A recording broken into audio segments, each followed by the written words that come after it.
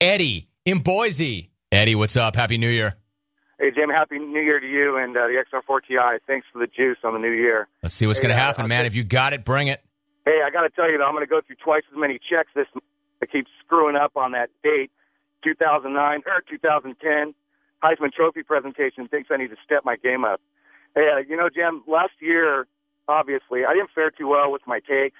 Um, Jungle let me have it, and deservedly so. You know, I, I asked for it.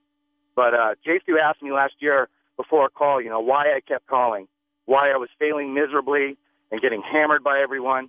Simple answer, Jay Stu. You know, there's a scene in this in the movie Catch Me If You Can with Christopher Walken and uh, Leonardo DiCaprio, and he's talking to him about resilience. These two mice in this bucket of cream, and the one mice just gives up. The one mouse just gives up after he gets slammed the first time, and he drowns in the cream.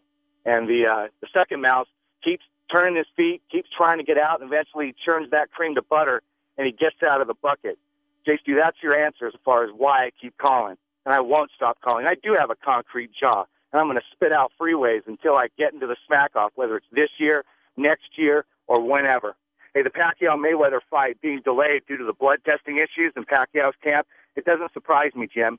If Jerry Cooney wasn't tested for Irish whiskey prior to Larry Holmes turning his face into a shaving accident, then Money Mays refs should just let the fight happen. Lastly, Jimmy, I want to put Justin and Boise on blast. Just Uh, Eddie, I'm sorry, bro. We run out of time. That music signifies the end of a segment. Well, Eddie starts a new year off. He said he wanted to make it right. He made some obscure reference to some movie that nobody's ever heard of with a couple of mi- mice swimming around in milk until it turned to butter. Anyway, let me go on to uh, the military on the wheel, the wheel of fortune, plus a couple of emails. Hey, Jim, you got a problem with employees bringing guns to work? What are you going to do about Style Grant's glistening shoulder cannons? Signed an anonymous phone screener. Style Grant. Style Grant's glistening shoulder cannons. Hey, Jim, so the Mayweather Pacquiao fight's off again. Wow. They really need to make up their mind already. Signed Oprah's waistline.